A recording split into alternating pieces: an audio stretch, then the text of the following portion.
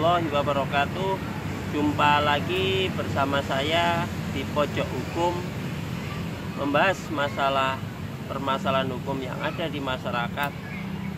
Secara sederhana di masyarakat pada umumnya. Kita sama-sama belajar hukum Dulur juga belajar hukum, saya juga belajar hukum. Marilah kita memberikan informasi-informasi hukum. Untuk kali ini, dulur saya akan membahas mengenai mungkin dulur-dulur ada yang kurang paham apa itu hak asuh anak atau istilah dalam hukum disebut hak adonah anak. Apa itu hak adonah anak? Marilah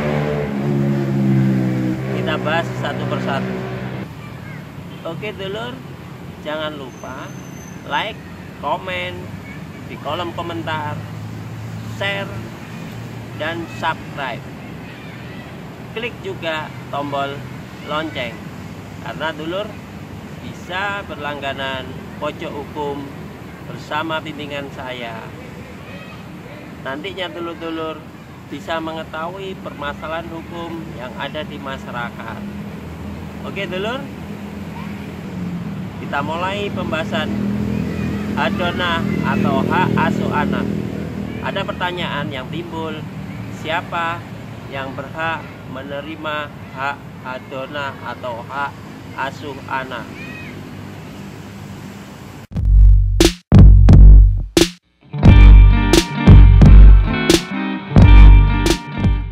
siapa yang berhak menerima hak asuh anak atau hak adona anak dulur perlu saya garis bawahi pada pokoknya yang namanya hadona adalah hak penjagaan atau hak pemeliharaan anak.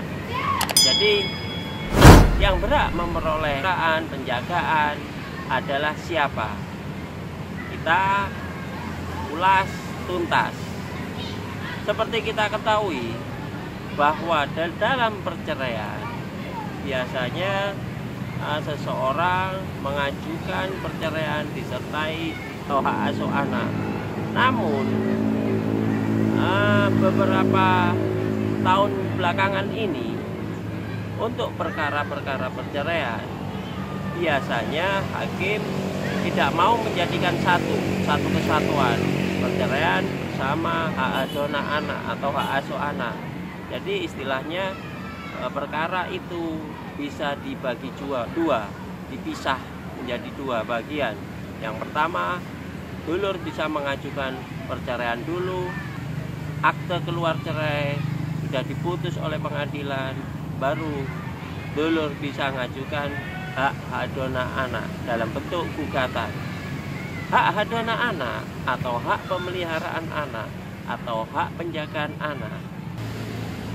Dalam hukum Islam apabila dulur-dulur beragama Islam Pengajuan adalah ke pengadilan agama dan merujuk kepada kompilasi hukum Islam. Sedangkan yang non muslim merujuk kepada BW.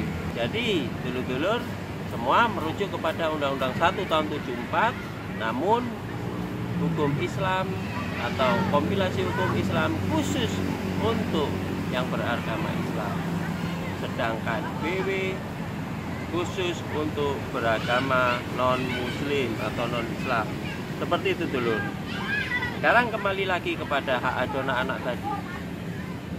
Apabila dulur mengajukan laki-laki mengajukan hak adona anak atau perempuan mengajukan hak adona anak mantan suami istri mengajukan hak adona anak kita lihat dulu anak itu berusia berapa tahun apabila anak tersebut berusia 12 tahun kurang tetap haknya kepada ibunya.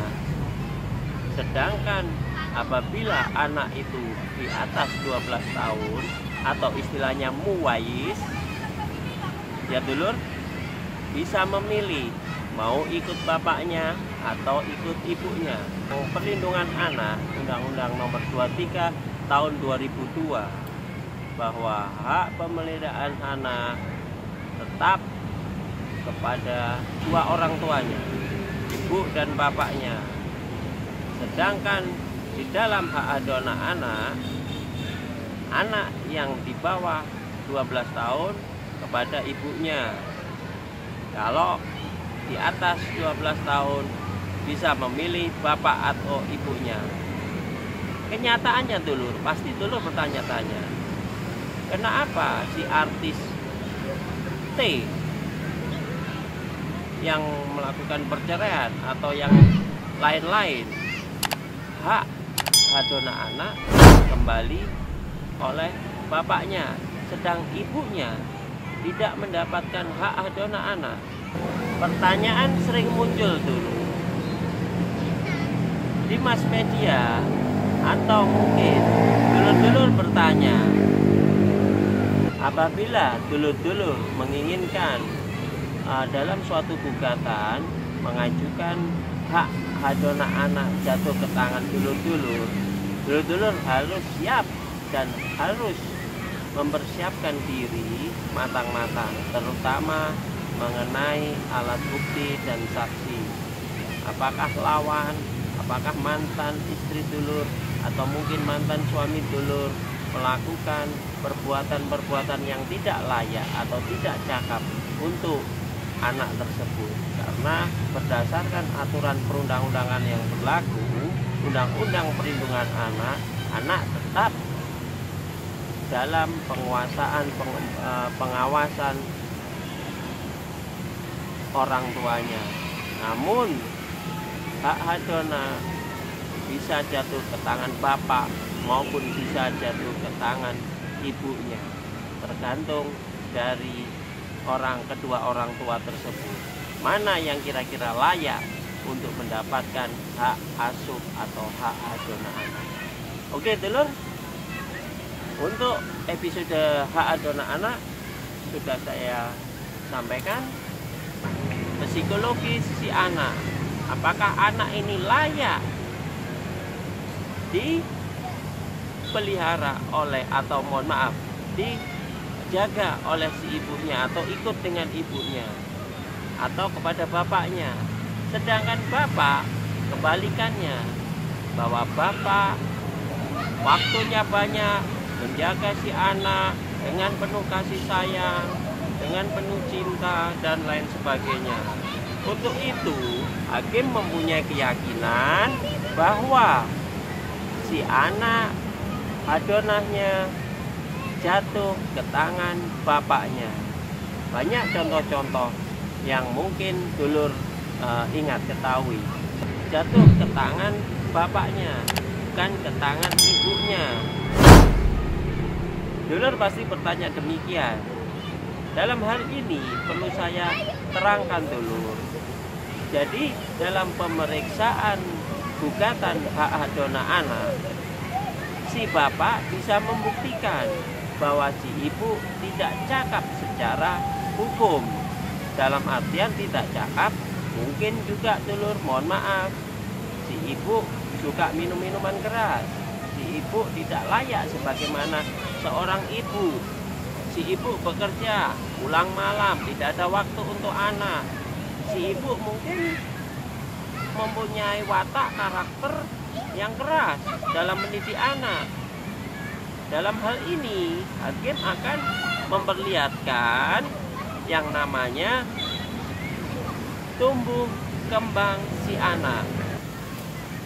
Untuk hak di bawah 12 tahun, saya menambahi adalah muayis. Oke dulu.